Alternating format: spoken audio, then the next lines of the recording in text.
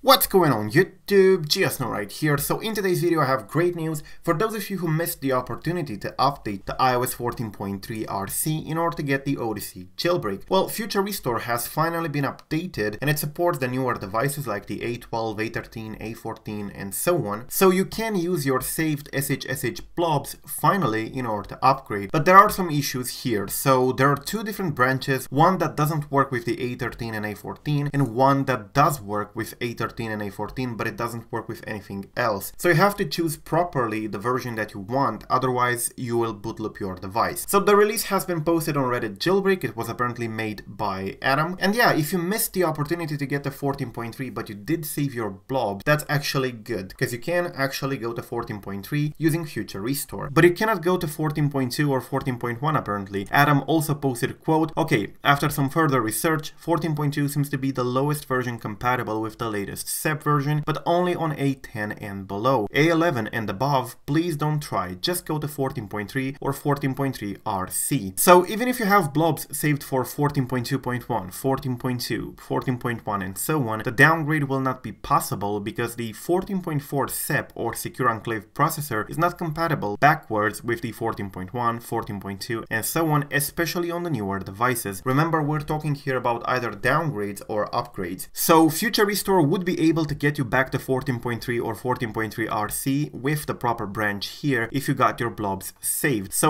that's actually pretty useful. And yeah, they did get it to work even on the iPhone 12. You can see A14 here with the uh, Future Restore running fine and the restore has been completed. Because if you remember, Future Restore has been broken for a while now, but it has been updated thanks to the great folks at the Sileo Discord here, where it's basically been announced. CoolStar also announced it, and you can see all the threads here about the, uh, the new release releases for future restores, so if you want to check that out, go ahead. So to put it simply, what do you need to use? Well, if you have an A12 or A11 or A10 or lower device, you should use the master branch. Make sure that here on GitHub it says master and not V1 or A13, A14. This is the version that you can get here on the releases, and of course there is also a big warning here. Only use this branch if you are not needing to restore an A13 or A14. If you are needing to restore an A13 or A14, use this branch, which is basically the one for A14 or else you will bootloop. So please do be sure that you're using the proper branch if you're actually using Future Restore to go to 14.3. So this one on the A13 and A14 is only for A13 and A14. This one doesn't work with older devices. You will actually bootloop your device if you try it on A12 or A11 and so on. So only use this one here with the A13 or A14. Those are basically the iPhone 11 and all their pros and the iPhone 12 and all their pros. So that's basically basically it with the Future Restore. There are two versions right now, and it depends on what device you have. If you're not sure which one to use, please tell me in the comment section down below what device you have, and I'm going to give you a link for the proper one. And make sure you get the Future Restore from this repo here, because there are multiple ones. For example, there is the original one by tihmstar, which is not at all updated, and this one will definitely break something if you try it, or in the best scenario, it would fail. So do make sure that you get this one here, created by Adam. And the SEP compatibility is apparently only only for 14.3 and 14.3 RC, but that's basically what you need if you're planning to upgrade your A12, A13 or A14 device in order to get the Odyssey jailbreak. So this is your last chance. If you want to get the Odyssey jailbreak and you missed the opportunity, you're running 12 point something or 13.5 or 13.7 and so on, and you really really want that iOS 14.3 and you want to upgrade to 14 finally and get the jailbreak too, if you saved your blobs at the time I told you to save your blobs, you can now upgrade to iOS iOS 14.3 even if it's no longer signed and you can jailbreak with the Odyssey once it gets released probably in a couple of days, weeks, we don't know yet. So definitely use Future Restore if you need to do that, but do pay attention what Future Restore you use because otherwise you're going to bootloop your device. So yeah, thank you for watching, I am GeoSn0w, till the next time subscribe to stay updated and peace out.